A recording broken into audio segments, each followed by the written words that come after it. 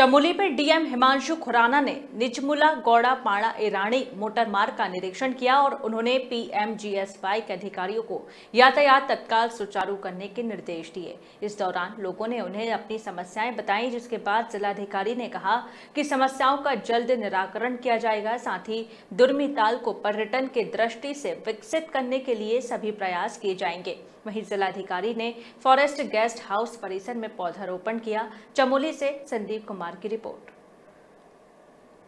घाटी में जो पाना ईरानी के का रोड है, कि समय समय पर शिकायतें प्राप्त हो रही थी कि जो काम है वो धीमी गति से चल रहा है और जो बीच में पुल दो तीन पुल निर्माण हुए हैं, वो भी काफ़ी धीमी गति से हो रहे हैं। तो इस क्रम में आज संपूर्ण जो हमारा ये रोड है उसका निरीक्षण किया गया।